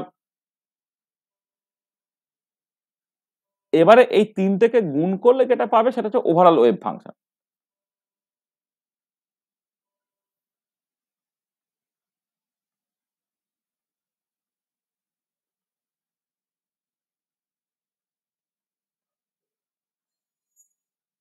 overall wave ফাংশনটা যখন তুমি বের করতে চাইবে ওভারঅল ওয়েভ ফাংশনটা কি? না সাই সেটা তোমার একটা রেডিয়াল পার্ট ছিল, একটা থিটা ডিপেন্ডেন্ট পার্ট ছিল আর ফাই ডিপেন্ডেন্ট পার্ট এদের গুণ হিসেবে লেখা হয়েছিল তো? তাহলে সাইটে সাডেনলি আর থিটা আর ফাই এর ফাংশন আচ্ছা এবার কোয়ান্টাম নাম্বার ডিপেন্ডেন্ট দেখো, এটা শুধুমাত্র এম এর উপর ডিপেন্ড করে, এটা এল এবং মড এম এর উপর ডিপেন্ড করে, এটা এন এবং এল এর উপর ডিপেন্ড করে, তার মানে পরিষ্কার এটা এন এল আর এম এর উপর ডিপেন্ড করবে, ঠিক আছে?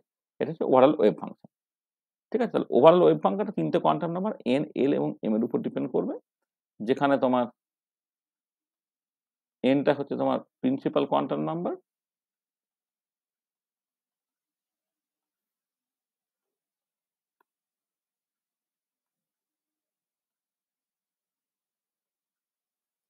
এটা প্রিন্সিপাল কোয়ান্টাম নাম্বার এটা। যার অ্যালাউড ভ্যালুজ হচ্ছে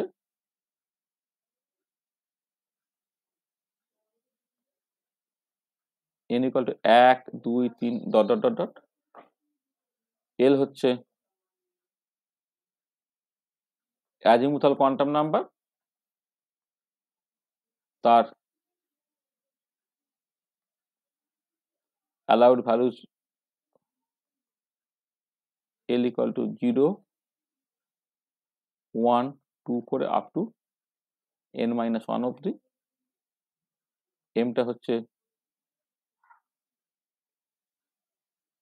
মানে আসলে এটা এম অর এটাকে এম এল বললেও হবে আর কি। Magnetic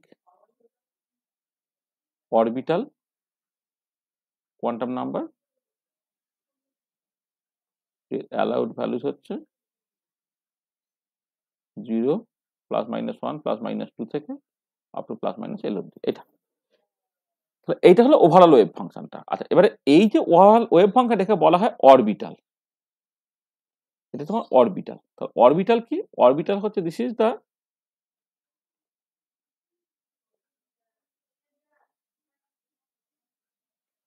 one electron wave function for hydrogen atom or hydrogen like one electron ion. Hydrogen like one electron ion. Hydrogen atom or hydrogen like one electron ions. একে orbital বলে ঠিক আছে এটা তাহলে ওভারঅল ওয়েভ ফাংশন তোমার ওই আর পার theta পার five per এ তুমি গুণ করলে এটা। আচ্ছা এবারে এই অরবিটালগুলোর এই যে অ্যাজিমুথাল কোয়ান্টাম নাম্বারের ভ্যালুটা কি তার মতো করে না একটা অরবিটালের জেনারেল একটা নোমেনক্লেচার হয়? তাহলে অ্যাজিমুথাল কোয়ান্টাম নাম্বার আর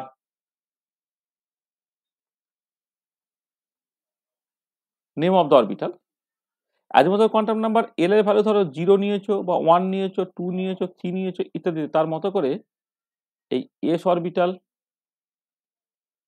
P orbital D orbital F orbital extra এদের সব নাম। এসপি ডিএফ এসব নামগুলো এসছে আর কি। এখানে এসটা stand for sharp P for principal D for diffuse F for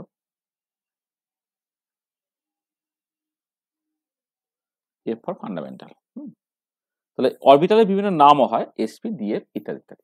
ঠিক আছে? তাহলে বোঝা গেল অরবিটালগুলো? হুম? আচ্ছা এবারে এখানে একটা ব্যাপার দেখো।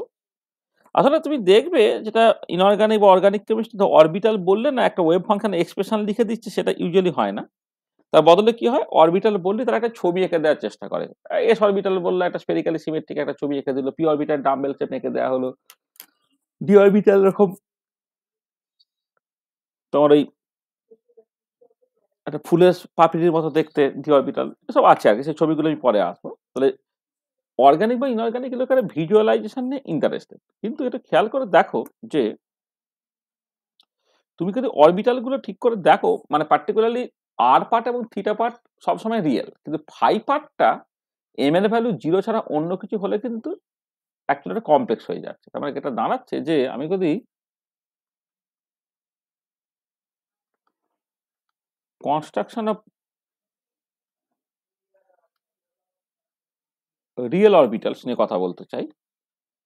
তো ব্যাপারটা কীরকম দেখো, সেটা হচ্ছে যে তুমি যখন পার্টিকুলারলি এমটা যদি এমটা যদি নট ইকুয়াল টু জিরো হয় দেন অরবিটালস আর কমপ্লেক্স কারণ পার্টিকুলারলি ফাই এম ফাইটা তো আছে। এই যে ওভারঅল ওয়েব ফাংশনের মধ্যে তো ফাই পার্টটা আছে না? ওভারঅল ওয়েব ফাংশনের মধ্যে ফাই পার্টটা আছে। ফাইভ পার্টটা দেখতে কেমন? One by root over R two pi E to the power I M phi তো? এটা? তাহলে এম এর ভ্যালু জিরো হলে রিয়েল বেরিয়ে গেল। কিন্তু এম এর যদি নট ইকুয়াল টু জিরো হয়, তাহলে কিন্তু অরবিটাল আর ইঞ্জিন আর কমপ্লেক্স আর এবার কমপ্লেক্স অরবিটাল অসুবিধা কি? তার ভিজুয়ালাইজেশন করতে পারবে না। Complex orbital cannot be plotted orbitals cannot be graphically visualizable. Complex orbitals cannot be graphically visualizable. হ্যাঁ গ্রাফিক্যালি তুমি দেখতে পাবে না তাহলে ওয়ে আউটটা কি ওয়ে আউট হচ্ছে construct the real orbitals by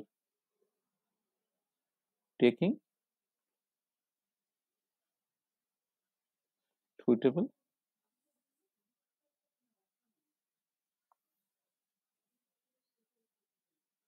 by taking suitable linear combination ধরো একটা এক্সাম্পল বলছি ধরো তোমার এই ধরো আমি পি অরবিটালের কথা বলছি ধরো পি অরবিটাল যদি এম এর ভ্যালু প্লাস ওয়ান নেওয়া হয়, তাহলে যে অরবিটাল সাথে পি প্লাস হলো বা পি প্লাস ওয়ান হলো, আর এম এল এর ভ্যালু তুমি যদি মাইনাস ওয়ান নাও, তাহলে সেটা হচ্ছে পি মাইনাস ওয়ান একে দুটো অরবিটাল যদি তুমি দেখো। তাহলে যেটা হবে যে এখানে একটা কনস্ট্যান্ট টার্ম রইল, ধরো এ কিন্তু E to the power I phi হলো, আর এখানে হচ্ছে ওই একই পার্টটা B to the power minus I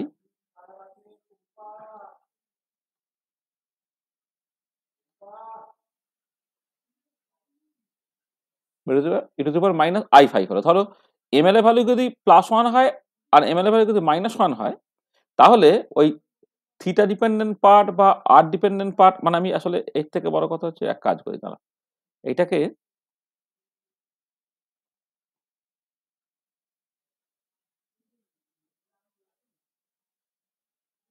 এখানে একটা সাইন থিটা পার্ট থাকে সাইন থিটাকে লিখে দিচ্ছি E to the power I phi এটা A sine theta E to the power minus I phi ঠিক আছে? মানে তুমি যদি পি অরবিটাল তো তিনটে হয় মানে এম এল মানে এম ধরো ধরো এন ইকল টু দুই নিয়েছো এল ইকাল টু ধরে নাও তুমি ওয়ান নিয়ে তার মানে পি অরবিটাল এম এল এর তিনটে possible value M L equal to zero plus one minus one তাহলে এই যে পি জিরোটা দেখতে হয় হচ্ছে এ কস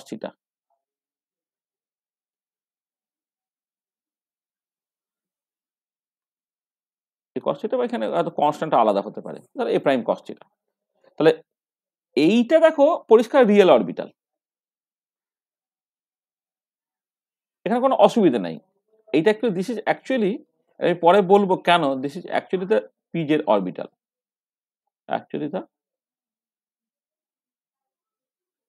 পিজের অরবিটাল এটা কেন এটাকে পিজের বলে, সেটাকে দেখব। মানে অ্যাঙ্গুলার ওরিয়েন্টেশনটা জেড ডিরেকশন বরাবর ওরিয়েন্টেড আর কি। সেখানে এটাকে পিজের অরবিটাল বলে, সেটা কেন আমি পরে আসছে। তাহলে এমএলএ বলে যখন জিরো তখন রিয়েল অরবিটাল পেয়েছ, তাতে কোনো অসুবিধা নেই। কিন্তু এই যে দুটো অরবিটাল দেখো খেয়াল করে, এরা হচ্ছে কমপ্লেক্স অরবিটাল মানে যখন এমএলএ ভ্যালু জিরো নয়, তখন কিন্তু তুমি কমপ্লেক্স অরবিটালস পাচ্ছ। কমপ্লেক্স অরবিটাল ছবি আঁকতে পারবে না। তাহলে তোমার উপায়টা কি? তাহলে লিনিয়ার কম্বিনেশন না, ধরো তুমি করলে কি? P plus one plus P minus one by two করে দাও। তাহলে কি দাঁড়াচ্ছে? না এ সাইন থিটা কমন নিলে e to the power i phi plus e to the power minus i phi by two হয়ে গেল, তাহলে কত হচ্ছে? A sine theta cos phi হলো a sine theta cos phi কারণ পজিটিভ কম্বিনেশন দুই দিয়ে ভাগ করলে তোমার বেসিক্যালি কস ফাই দেবে এটা। আর যদি তুমি নেগেটিভ কম্বিনেশন নাও, ধরো, হুম, ধরো, যদি P plus one minus P minus one by twice I যদি করো, এইটা, তাহলে A sine theta E to the power I phi minus E to the power minus I phi by twice I এইটা। কারণ E to the power I phi জানো তো E to the power I phi যে cos phi plus I sine phi এবার যদি তুমি লেখো মানে E to the power I phi তো cos phi plus I sine phi তাহলে এবার তুমি দুটোকে যোগ করো সাইন ফাইভ সাইন ফাইভগুলো কেটে চলে যাবে হ্যাঁ এটা আর মাইনাস করলে সাইন ফাইভগুলো জাস্ট থাকবে। তাকে টু আই দিয়ে ভাগ করে দিলে A sine theta sine phi হলো। দেখো এখন রিয়েল বেরিয়ে গেল। এইটা হচ্ছে তোমার বেসিক্যালি পিএক্স অরবিটাল এইটা হচ্ছে তোমার বেসিক্যালি পিওয়াই অরবিটাল এ দেখো, এরা কিন্তু এখন বেরিয়ে গেছে, তোমার রিয়েল হয়ে গেছে। তারপর তুমি এই সুইটেবল লিনিয়ার কম্বিনেশন তাকে তুমি রিয়েল বানিয়ে ফেললে। আচ্ছা। তাহলে প্রথমটা অলরেডি পিজেড ছিল, এখন তুমি এ সাইন থেটা কস ফাইটা হচ্ছে পিএক্স অরবিটাল হলে a sine theta sine phi তোমার পি ওয়াই হয়ে গেল। তার মানে এটা দাঁড়াচ্ছে যে এই ধরো এই যে সেটটা P zero P plus one আর পি মাইনাস ওয়ান এই যে সেটটা can also be written as PX PY PZ মানে N equal to two L equal to one যে তিনটে পি অরবিটাল পেলে এটাকে তুমি P zero P plus one P minus one হিসেবে এক্সপ্রেস করতে পারো অথবা P X P Y PZ হিসেবে এক্সপ্রেস করতে পারো। এই প্রথম যে এক্সপ্রেশনটা হয়েছে পি জিরো বাদ দিয়ে পি প্লাস বা পি মাইনাস কমপ্লেক্স আর পরের যে এক্সপ্রেশনটা করা হলো P X P Y PZ যেটা নিয়ে আমরা মূলত কাজকর্ম করি, এরা কিন্তু সব রিয়েল মানে এরা কিন্তু তোমার রিয়েল অরবিটাল আচ্ছা এবারে কথাটা হচ্ছে যে এই যে লিনিয়ার কম্বিনেশন নিলে লিনিয়ার কম্বিনেশন নেওয়ার জন্য কি কিছু অসুবিধা হলো? প্রথম কথা হচ্ছে লিনিয়ার কম্বিনেশন নেওয়ার জন্য যেহেতু আমি এরা হচ্ছে এনার্জি রেসপেক্টে ডিজেনারেট ছিল বা টোটাল অ্যাঙ্গুলার মোমেন্টামের রেসপেক্টে ডিজেনারেট ছিল। মানে এনার্জিটা শুধুমাত্র এনের উপর নির্ভর করে, কারণ প্রত্যেক ক্ষেত্রে এনটা আমি দুই নিয়েছি। আর তোমার টোটাল অ্যাঙ্গুলার মোমেন্টামটা এলের উপর নির্ভর করে, প্রত্যেক ক্ষেত্রে আমি এলটাকে জাস্ট ওয়ানেই নিয়েছি। সেই জন্য এরা তোমার এনার্জি এবং টোটাল অ্যাঙ্গুলার মোমেন্টামের রেসপেক্টে ডিজেনারেট ছিল বলে লিনিয়ার কম্বিনেশন নেওয়ার পরে কিন্তু কিছু পাল্টাবে না। যেটা দাঁড়াচ্ছে যে P zero P plus one P minus one was মানে বা আর degenerate states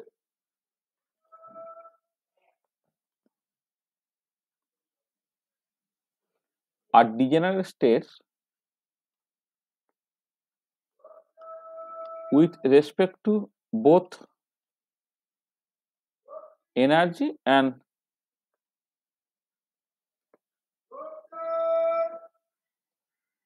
total angular momentum. Hence, after taking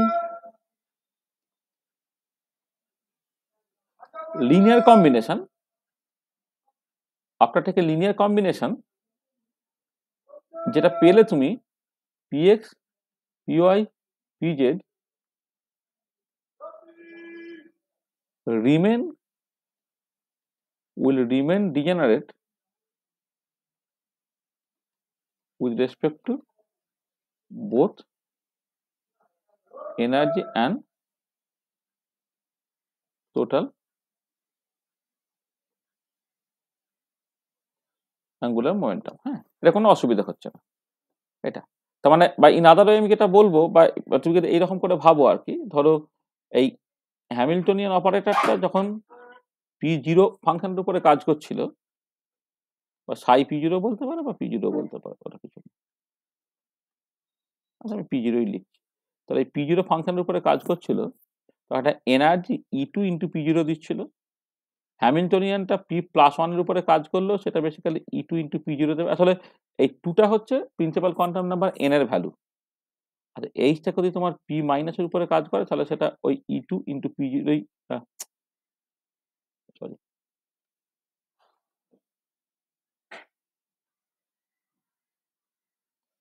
P plus one P minus one দেখো, এই যেটা, ব্যাপার হচ্ছে প্রত্যেক ক্ষেত্রে এনার্জিটা একই থাকছে। এবারে এইচটা যদি তোমার, ধরো পি এক্সের উপরে কাজ করে, তাহলে কিন্তু ওই একই হবে। মানে P X P Y P Z হ্যামিল্টনের eigen function যেমন ছিল with eigen value E two সেটা যেমন আছে তেমনই থাকবে। এটা এটা থাকবে হ্যাঁ? আচ্ছা আবার ঠিক একই রকম ভাবে এল স্কোয়ারটা যদি তোমার পি জিরোর উপরে কাজ করতো এল স্কোয়ারটা root over of L into L plus one H cross তো root over of L into sorry root over বলছি L into L plus one H cross square তার মানে two H cross square into P zero মানে এল এর value তো এখানে one না? এল এর ভ্যালু ওয়ান হলে L into L plus one হলে কত হবে? দুই হবে, তাহলে two H cross square P zero L স্কোয়ারটা যদি পি প্লাসের উপরে কাজ করে প্লাস ওয়ানের উপরে, সেটাও হচ্ছে two H cross square into P zero হবে।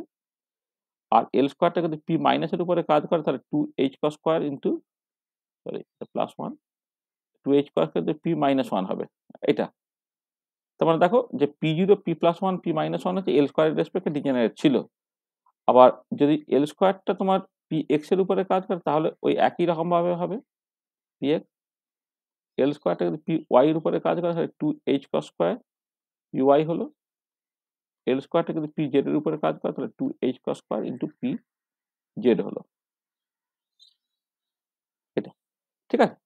তাহলে দেখো, এই যে টোটাল এনার্জি বা টোটাল অ্যাঙ্গুলার মোমেন্টাম তাতে কিন্তু কোনো চেঞ্জ টেঞ্জ হচ্ছে না। কোনো অসুবিধা নেই। কিন্তু যেটা ইম্পর্টেন্ট পয়েন্ট সেটা হচ্ছে এই যে যে after taking the linear combination তোমার এটা কিন্তু পাল্টে গেছে। মানে যেটা হচ্ছে এল জেড অপারেটরটা যদি পি জিরোর উপরে কাজ করে, তাহলে সেটা হচ্ছে zero H cross into P zero দিত। আর এল জেড অপারেটর যদি পি প্লাসের উপরে কাজ করতো, তাহলে সেটা হচ্ছে H cross into P plus one দিত। কারণ M L into H cross তো। আর এল জেডটা যখন তোমার পি মাইনাসের উপরে কাজ করছে, তখন H cross into P minus দিত তার মানে কি? যে P zero P plus one P minus one was the eigen function of L Z operator কিন্তু এখন যখন মানে এটা এটা এটা হচ্ছে তোমার এই P zero P plus one P minus one was the eigen function of L Z ছিল। কিন্তু এবারে যখন লিনিয়ার কম্বিনেশন তুমি নিয়ে ফেলছো, তো এল জেডটা যদি পি এক্সের উপরে কাজ করে, সেটা কিন্তু কোনো রকম ভাবেই কিন্তু তুমি একটা কনস্ট্যান্ট টাইম পিএক্স হিসেবে লিখতে পারছ না বা এল জেডটাকে যদি পি ওয়াই এর উপরে কাজ করছে এটা কনস্ট্যান্ট টাইম পি ওয়াই লিখতে পারবে না। তুমি তুমি এই তো, তুমি দেখো না, তুমি যদি কাজটাকে করো, খেয়াল করে দেখো, আমি যেটা করে দেখাচ্ছি, দেখো এল জেডটা যদি পিএক্স এর উপরে কাজ করা মানেটা কি? তোমার বেসিক্যালি হচ্ছে P plus one plus P minus one by two তার উপরে কাজ করছে তো, তার মানে হাফটা যেমন হলো এল জেডটা পি প্লাসের উপরে কাজ করলে কি দেবে? এল জেডটা পি প্লাসের উপরে কাজ করলে তোমার দেবে হচ্ছে তোমার basically H cross into P plus দেবে, আর এইটা এর উপরে কাজ করলে কি দেবে? Minus H cross into P minus দেবে। দেখো তুমি খেয়াল করে দেখো, এটা কোনো রকমভাবেই কিন্তু একটা কনস্ট্যান্ট টাইম এই P plus one plus P minus one by two হিসেবে তুমি লিখতে পারছ না।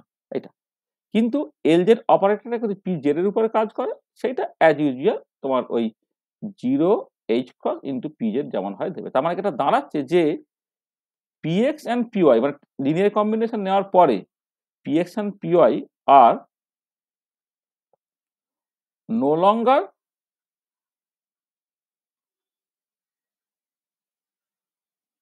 eigen longer eigenfunctions of Lz. But P Py বা Pz remains as usual, remains eigenfunctions of Lz. তার মানে এই যে Px, Py, Pz এই তিনজনের মধ্যে পি জেডটা হচ্ছে এইচ এল স্কোয়ার এবং এল জেড তিনজনের আইগেন ফাংশন কিন্তু পিএক্স পিওয়াই সেটা এইচ এবং এল স্কোয়ারের আইগেন ফাংশন হলেও কিন্তু এল জেড এর আইগেন ফাংশন নয়। এরকম পরীক্ষা প্রচুর কোশ্চেন্স পড়ে। তো চারটা অরবিটাল বলে দিকে টু এস অরবিটাল বলে দিই, ধরো এরকম বললাম যে two S two P X two P Y two P Z এই যে চারটে অরবিটাল এদের মধ্যে কে কে এইচ এল স্কোয়ার এবং এল জেড এর আইগেন ফাংশন? এর মধ্যে তোমার টু এস আর টু পি জেড এরা হচ্ছে simultaneous eigenfunctions of simultaneous? Eigenfunctions of h, l square and lz আর উল্টো দিকে টুপি এক্স আর টুপি ওয়াই তারা হচ্ছে simultaneous eigen functions of H and L square. But this they are not the simultaneous eigen function of L Z এটা হচ্ছে তোমার simultaneous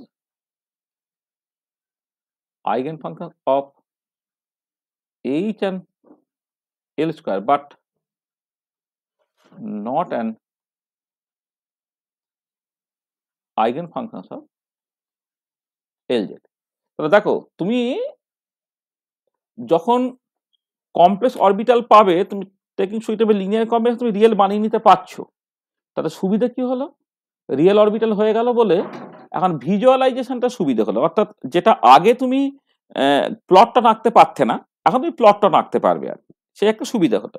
কিন্তু তার সঙ্গে সঙ্গে যেটা অসুবিধা হয়ে গেল সেটা হচ্ছে এই যে after taking the linear combination যে অরবিটালগুলো তৈরি হলো সেই অরবিটালগুলো কিন্তু এল জেড এর আর আইগেন ফাংশন থাকছে না।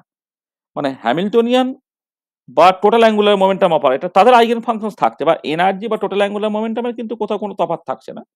কিন্তু তোমার z component of angular momentum কিন্তু সেটা পাল্টে গেছে বা z component of angular momentum operator যেটা হুম তার আইগেন ফাংশন যেটা ওটা আর থাকছে না। ঠিক আছে? দেখো বুঝতে পারলে? ব্যাপারটা পরিষ্কার তো? হ্যাঁ স্যার। স্যার একটু লাস্ট পেজটা দেখাবেন। হ্যাঁ।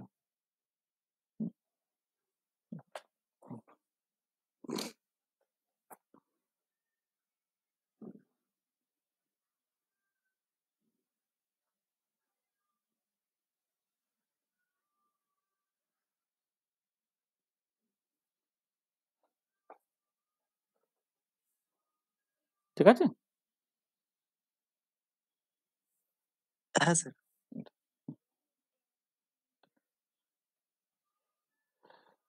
আচ্ছা এবারে আমাদের অ্যাকচুয়ালি যেগুলো লাগবে সেগুলো বেসিক্যালি রিয়েল অরবিটালগুলি লাগবে হ্যাঁ? তাহলে তুমি যদি ধরো আহ, কতকগুলো মানে বেশি তো লিখব না মানে ধরো সাম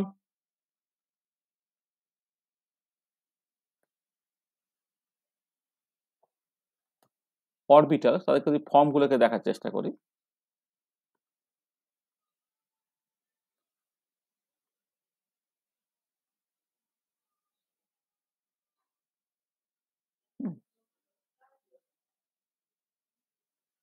তাহলে আমি এদিকে হয়তো principal quantum number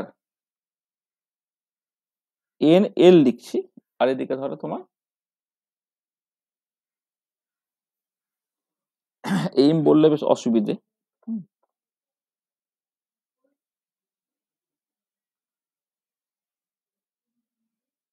আমি একবার রিয়েল অরবিটাল লিখব তো মানে এক কাজ করা যাক।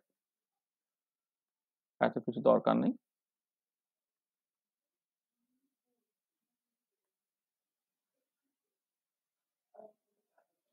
আমি একবার সাই ওয়ান এস এর জন্য বলে দিচ্ছি। মানে প্রথম যে দেখবে psi one s two s two p হ্যানা তা নয়, প্রথমটা তো প্রিন্সিপাল কোয়ান্টাম নাম্বার এন এর ভ্যালু বোঝানো হয়। আর এস না পি না ডি না এফ সেটা হচ্ছে এর এর ভ্যালুর উপর নির্ভর করে। এবার এম এর ভ্যালু তার উপরে তো মানে মানে এম এর ভ্যালু মানে যদি তুমি একদম কমপ্লেক্স অরবিটাল লিখো তাহলে এম এর স্পেসিফিক ভ্যালু তুমি বলতে পারতে। আর তুমি রিয়েল অরবিটাল গুলোকে লেখো, যার গ্রাফিক্যাল রিপ্রেজেন্টেশন অ্যাকচুয়ালি আমি করতে পারব আর কি, তার ক্ষেত্রে তো তোমার এম এল এর স্পেসিফিক কোনো ভ্যালু সব ক্ষেত্রে থাকবে না। সেজন্য আমি এখানে আর ওই এন এল আর এম এল এর ডিস্টিং ভ্যালুগুলোকে আলাদা করে লিখছি না। ধরো আমি যা সাই ওয়ান এস অরবিটাল বলছি। আর সাই ওয়ান এস অরবিটালের ফর্মটা হচ্ছে one by root pi z by a zero তার পাওয়ার হচ্ছে three by two e to the power minus z r by a zero যেখানে তোমার এ জিরোটা হচ্ছে board area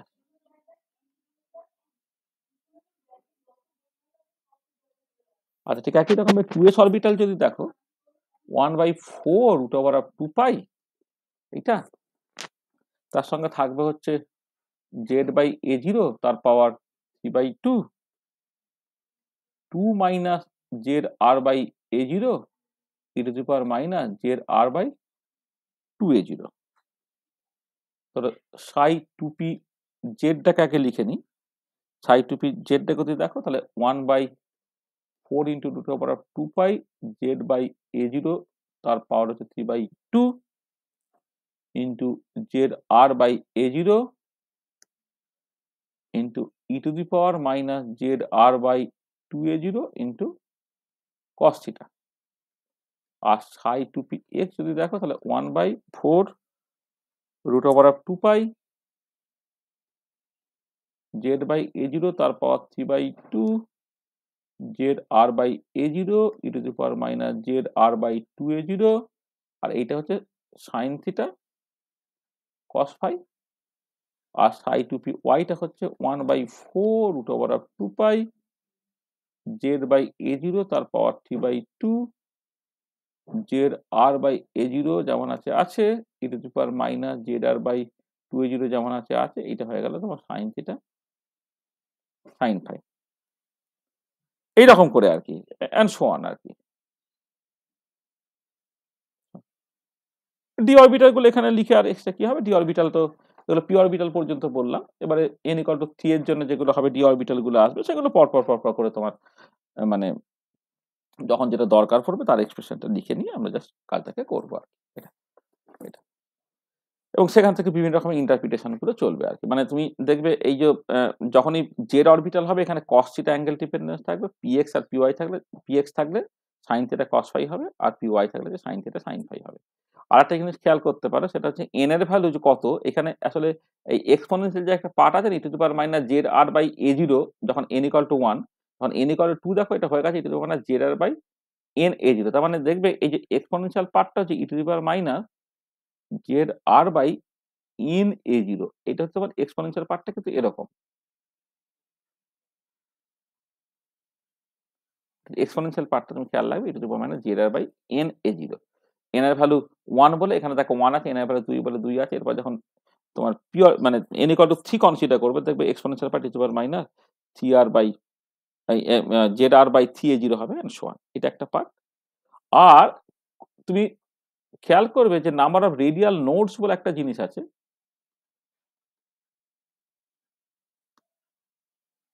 number of radial nodes হ্যাঁ সেটা খুব ইম্পর্টেন্ট এই সংখ্যাটা হচ্ছে n minus l minus one হবে। অর্থাৎ কতগুলো জায়গায় ওয়েব ফাংশনটা জিরো হবে। তাহলে এই এক্সপ্রেশনে ওয়েব ফাংশনটা কোথায় কোথায় জিরো হবে যদি তুমি দেখো। তাহলে এই যে টু এস অরবিটালে খেয়াল করে দেখো। মানে এটা মানে এই টু মাইনাস জেডার বাই এ জিরো যখন, দেখো, এমনিতেও আর যখন টেন্স টু ইনফিনিটি তখন তো জিরো হবেই। সেটা তো মানে একটা একে মানে আর ইকুয়াল টু জিরো এবং আর ইকুয়াল টু ইনফিনিটিতে যে, যদি ওয়েভ ফাংশন জিরো হয়, তাহলে সেটাকে নোট বলে না। তাহলে নোডটা হচ্ছে যে, একটা পার্টিকুলার পয়েন্ট জিরো আর ইনফিনিটি বাদ দিয়ে যেখানে বেসিক্যালি ওয়েভ ফাংশনটা ভ্যানিশ করেছে আর কি নাম্বার অফ রেডিয়াল নোটের সংখ্যা দেখো, যখন ওয়ান এস অরবিটাল তখন সেটা বেসিক্যালি জিরো কিন্তু যখন টু এস অরবিটাল তখন ওয়ান আবার টু পি অরবিটালের ক্ষেত্রে এখানে জিরো হয়ে যায়। অর্থাৎ নাম্বার অফ রেডিয়াল হচ্ছে n minus n minus one এটা আমরা ছবি এঁকে এঁকে পরে তোমাকে খুব ভালো করে দেখাবো আর কি হ্যাঁ? এখানে এইখানে আহ, ধরো এই টু এস অরবিটালের ক্ষেত্রে principal quantum n equal to দুই azimuthal quantum l equal to তোমার জিরো তাহলে two minus zero minus one তাহলে একটা হবে। দেখো এখানে basically r equal to two a zero by z সেখানে কিন্তু তার একটা নোট আছে। আর পি অরবিটালে যখন চলে গেলাম এন এর ভ্যালু টু এল এর ভ্যালু ওয়ান হয়ে গেল, তাহলে দুই মাইনাস এক মাইনাস এক বেসিক্যালি জিরো হয়ে গেল। তাহলে পি অরবিটালের ক্ষেত্রে কোনো রেডিয়াল নোটস নেই। আবার যখন ডি অরবিটাল তুমি যাবে থ্রি ডি অরবিটাল বা ইত্যাদি যখন তুমি যাবে হ্যাঁ তখন হচ্ছে এন এর ভ্যালু তিন আর এল এর ভ্যালু দুই, তাহলে তিন মাইনাস দুই মাইনাস এক, তখন দেখবে তার কোনো নোট থাকবে না। হ্যাঁ কিন্তু যদি তুমি থ্রি পিতে যাও থ্রি পিতে গেলে এন এর ভ্যালু তিন এর ভ্যালু হচ্ছে ওয়ান তাহলে তিন মাইনাস এক মাইনাস এক, তাহলে হয়ে যাচ্ছে তোমার এক, তখন একটা রেডিয়াল নোট থাকবে। মানে যেটা হচ্ছে এই যে যখন তোমার ফাংশনটা বলে দেওয়া থাকবে, সেই ফাংশনের দু তিনটে জিনিস মাথায় রাখা। একটা হচ্ছে তার অ্যাঙ্গেল ডিপেন্ডেন্সটা দেখবে খুব ইম্পর্টেন্ট সেটা আপনি কেমন অ্যাঙ্গেল ডিপেন্ডেন্স হলে কেমন ছবি হবে আমরা বলব। একটা এক্সপোনেনশিয়াল পার্টটা ইটু পাওয়ার মানে z by n a zero এইটা। আর নাম্বার অফ রেডিয়াল নোটসের সংখ্যা মানে আর ইকাল টু জিরো এবং ইনফিনিটি বাদ দিয়ে বাকি যে জায়গাগুলো আছে সেখানে কতবার ওয়েভ ফাংশনটা জিরো হওয়ার সুযোগ আছে আর কি। এই তিনটে জায়গা অ্যাকচুয়ালি তোমাকে খেয়াল করে বুঝতে হয়। মানে একটা এক্সপ্রেশন দিয়ে দেওয়ার পরে যদি তোমাকে জিজ্ঞেস করে এটা কোন অরবিটাল রিপ্রেজেন্ট করছে, তখন ওই তিনটে জিনিস মাথায় রাখতে হবে আর কি। হ্যাঁ তাহলে অ্যাঙ্গেল ডিপেন্ডেন্ট এক্সপোনেনশিয়ালি যে এন ডিপেন্ডেন্সটা আর নাম্বার অফ নোটসের সংখ্যা। ঠিক আছে? বোঝা গেল? বুঝছে বুঝতে পেরেছ তো? হ্যাঁ ঠিক আছে। তাহলে আজকে আমরা এই পর্যন্তই করব হ্যাঁ? আমরা নেক্সট ক্লাসে যেটা করব নেক্সট ক্লাসে হচ্ছে তোমার graphical representations of orbitals and তার সাথে various kind of dots এইটাকে নিয়ে আমাদের নেক্সট ক্লাসে বেসিক্যালি আলোচনা চলবে এটা। আমরা এখানে শেষ করে দিচ্ছি।